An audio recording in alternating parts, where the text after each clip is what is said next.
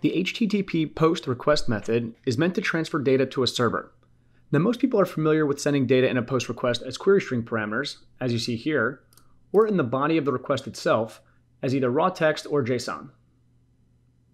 Now, another way to send data in a post request is to upload an actual file, and I'll show you two ways to do that within Postman. The first way is going to be under this button called Form Data, so let's click that, and the key here is finding a hidden dropdown. So I'll hover over this right side of this box here, and instead of text, we're going to click that and change it to file.